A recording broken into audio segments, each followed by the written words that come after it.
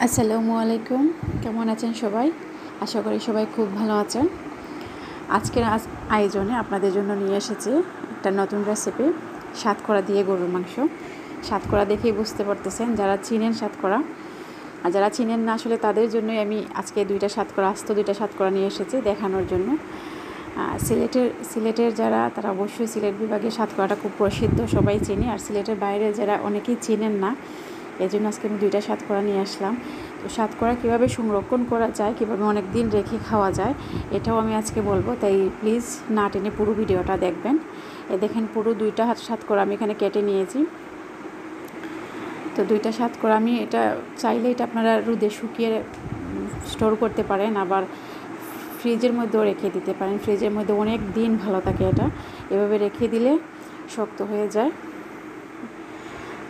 তারপরে অনেক দিন খাওয়া যায়। তো আজকের রান্নাটার জন্য আমি গরুর মাংস নিয়েছি। হাড্ডি সহ গরুর মাংস প্রায় এক কিলোর মতো। সাথে নিয়েছি পাঁচ, ছয় টুকরা মতো স্বাদ করা আপনারা দেখতেছেন যে স্বাদ করার উপরে যে অংশটা বাকলটা থাকে, এটাও নিয়েছি আমি।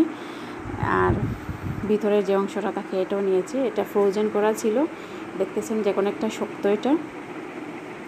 তো এত দিতে হবে না, মোটামুটি তিন, চার টুকরা দিলেই হয়। জাস্ট স্মেলের জন্য। গরু মাংসের মধ্যে একটা ভালো স্মেল আসে, হালকা এক টক ভাব আসে। কেউ যদি শুধু স্মেলটাই মানে গন্ধটা পেতে চান, তাহলে একদম কম দিলেই হবে।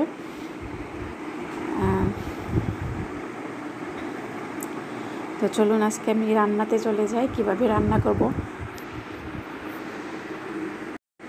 পুরো প্রস্তুত প্রণালীটা আমি দেখাচ্ছি। আমি পরিমাণ মতো তেল নিয়ে তাতে গরম মশলাটা দিয়ে দিচ্ছি, লং এলাচি, দারচিনি যেগুলা। গরম মশলা নর্মালি আমরা ইউজ করি তরকারিতে এগুলা। দিয়ে দিচ্ছি এক বাটি পরিমাণ, দেখলেন, পেঁয়াজ। আজকে আমি লাল পেঁয়াজটা নিয়েছি। লাল পেঁয়াজটা ভাজার পরে একটু লালচে হয়ে যায়, বেশি লালচে হয়ে যায়। তো পেঁয়াজটা যখন ভাজা ভাজা হয়ে যাবে, ঠিক তখনই আমি অন্য মশলাগুলো দিয়ে দেব। এর ফাঁকে বলিনি, যারা আমার চ্যানেলটা সাবস্ক্রাইব করেন নাই প্লিজ সাবস্ক্রাইব করবেন। আর পেঁয়াজটা ভাজা হয়ে গেছে, আমি দিয়ে দিচ্ছি আদা, রসুন। স্বাদ করায় কিন্তু একটু রসুন বেশি দিলে রান্না ভালো আসে। তো যারা নতুন তারা চেষ্টা করবেন একটু রসুন। নর্মাল মাংসের চেয়ে একটু পরিমাণটা বাড়িয়ে দিতে। তো আমি পেঁয়াজ, রসুন, আদা, গরম মশলাটা এক এক মিনিটের মতো রান্না করে নিলাম। তারপরে আমি বাকি মশলাগুলো দিয়ে দেবো। এক, বাটা পেঁয়াজ দিয়ে দিচ্ছি আমি দুই টেবিল চামচ পরিমাণ।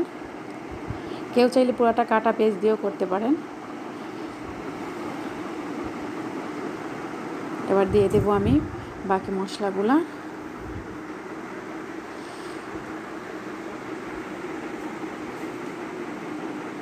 লবণটা দিয়ে দিচ্ছি, লবণটা দিইনি আমি আগে। খুব ইম্পর্ট্যান্ট দিয়ে দিচ্ছি মরিচ, হলুদ। মরিচ, হলুদটা দিয়ে একটু নাড়লাম যাতে একটু কালারটা আসে। কারণ অলরেডি একটু লালচে হয়ে গেছে কালার এই জন্য দিয়ে দিচ্ছি ধনিয়া গুঁড়া, তারপরে দিলাম জিরা গুঁড়া, তারপর পাঁচফোড়ন এই মশলাগুলো মাংসের মশলা নর্মাল মাংসের মশলা, এগুলো দিয়ে আমি মশলাটা কষিয়ে নেব। পানি ছাড়াই আমি কষাচ্ছি। মশলাটা দেখবেন প্রায়, রান্নার প্রায় অর্ধেকটা সময় আমি পানি ছাড়াই রান্নাটা করছি। আসলে রান্না করাটা একটু ধৈর্যের কাজ স্পেশালি আপনারা মাংস যখন রান্না করবেন একটু সময় নিয়ে রান্না করবেন, দেখবেন খেতে ভালো লাগে। এবারে মাংসটা দিয়ে দিচ্ছি। মশলাটা আমার বোনা হয়ে গেছে যেখানে মাংসটা দিয়ে দিচ্ছি। মাংসটা দিয়ে দিয়ে আমি কোনো পানি দেব না, এটা পানি ছাড়াই রান্না করব, প্রায় বিশ মিনিট। তো দেখতেছেন মাংসটাকে মশলা দিয়ে ভালো করে মাখিয়ে নিচ্ছি। যেহেতু আমি আগে মশলা দিয়ে মাংসটা ম্যারিনেট করে নেই, তাই এখানে ভালো করে মাখিয়ে নিতে হবে। নেড়ে চেড়ে দেখতেই পাচ্ছেন কীরকম হয়েছে এবং খুব কম আগুনে এটা রান্না করতে মাংস আসলে একটু সময় নিয়ে রান্না করতে হয়, কারণ দেখা যায় কি ভেতরে মশলাটা ঢুকতে একটু টাইম লাগে। তো সেই ক্ষেত্রে একটু ধৈর্য সহকারে যে কোনো মাংসই রান্না করতে হয়, গরুর মাংস বলেন খাসির মাংস বলেন, যেটাই রান্না করবেন, একটু সময় নিয়ে রান্না করবেন। আমি এই পর্যন্ত কিন্তু কোনো পানিই দিই নাই, পানি ছাড়া রান্না করতেছি, শুধু অল্প আছে। আর বিশেষ করে করা রান্না করতে গেলে এই জিনিসটা একটু খেয়াল রাখবেন, কারণ করা তরকারি ঝুল ঝুল এতটা ভালো লাগে না আমার। জন্য আমি চেষ্টা করি একটু বোনা টাইপের রাখার তো সেই ক্ষেত্রে পানিটা একদম শেষ পর্যায়ে দেব। আমি যখন বুঝব যে আমার মাংসটা ভালো করে কষানো হয়ে গেছে ঠিক সেই সময়, এটা ডিপেন্ড করবে আপনারা যদি ফ্রোজেন মাংস ইউজ করেন সেক্ষেত্রে একটু সময় বেশি লাগবে। আর যদি ফ্রেশ মাংস ইউজ করেন, তাহলে একটু সময়টা কম লাগতে পারে। তো আমি প্রায় বিশ মিনিট রান্না করার পরে আমি করাটা দিয়ে দিচ্ছি। আমি এত করা দিচ্ছি না, কারণ এটা একটু টক টক ভাব আসতে পারে। এই জন্য অল্প দিচ্ছি, শুধু স্মেলটা ভালো আসবে আর এটা একদম সফট হয়ে যাবে, খেতে ভালো লাগবে এই জন্য যারা আমার চ্যানেলে নতুন, আজকে ভিডিওটা দেখতেছেন, যদি আপনাদের ভিডিওটা ভালো লাগে, অবশ্যই লাইক, কমেন্ট, সাবস্ক্রাইব করবেন এবং পাশে টাকা বেল আইকনটা ক্লিক করে রাখবেন, যাতে নেক্সট ভিডিও দিলে আপনারা পেতে পারেন। তো দেখতেছেন, এখন পর্যন্ত আমি কোনো পানি দেই নাই, পানি ছাড়াই রান্না করতেছি। তো স্বাদ করা দিয়ে আমি প্রায় আরও পাঁচ ছ মিনিট রান্না করে নেব। যাতে স্বাদ করাটা সিদ্ধ হয়ে যায়।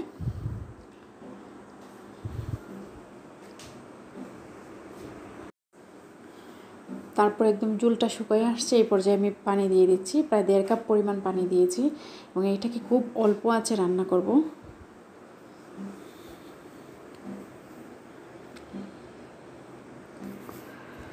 পানিটা দিয়ে আমি একদম লো আছে এটাকে ডেকে দেব। আমি আপনাদেরকে আগুনের পরিমাপটা দেখিয়ে দেবো, একদম মিডিয়াম টু লো আঁচ। একটু বেশি সময় রান্না করব যাতে পানিটা না শুকায়, আবার তরকারিটা মাখা মাখা থাকে, এই লেভেলে থাকে। ওটা দেখে দিচ্ছি। দেখতেছেন পানির পরিমাণ, পাপটা কেমন?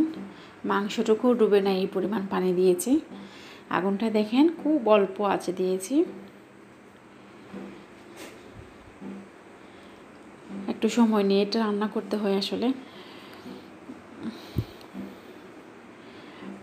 প্রায় দশ পনেরো মিনিট রান্না করার পরে এই অবস্থা হয়েছে, মোটামুটি হয়ে গেছে আমার। দেখতেছেন তেলটা উপরে চলে আসছে। রান্নাটা হয়ে গেছে, মাঝখানে আমি দুইবার নেড়ে দিয়েছি। একটা প্লেটের মধ্যে আমি অল্প মাংস নিয়ে দেখাইতেছি আপনাদেরকে কীরকম কালার আসছে। তো ভালো থাকবেন সবাই। আমার চ্যানেলটা অবশ্যই সাবস্ক্রাইব করে রাখবেন। আসসালামু আলাইকুম।